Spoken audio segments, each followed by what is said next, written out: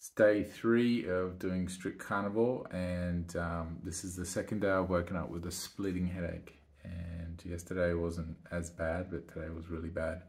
So um, I didn't take anything until mid-morning before I couldn't stand it anymore but um, I just uh, increased my salt, uh, had some food and had a little bit of olive oil. I know that's not strict carnivore but um, I needed something fatty and I didn't have butter around. So I just had that and it helped a bit and I had lots of salt. So I was eating, you know, chunks of salt and that, that calmed it down a bit, but then it came back again.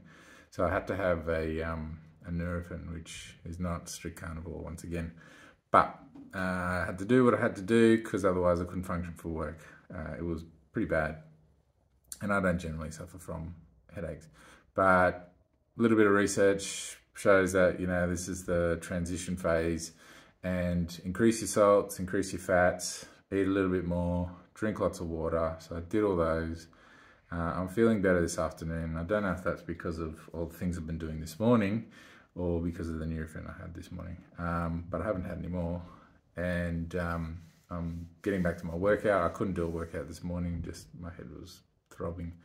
So um, yeah, my point of this video is just to say, it, there is a way through and you've got to push through it. And um, uh, there, are, there is reasons why. And even though I came off fairly low carb I did have periods where you know I'd eat you know spend a do a cheat day. Um, so but for most of the week I was low carb. And for the weekend leading up to this and the week prior I didn't really eat many carbs. So I was low carb anyway. So there is ways around this. Um, there is ways through it and I'll put a couple of links to some videos below of ones that help me get through it. Um, but once again, just increase your fat, increase your salt, drink lots of water.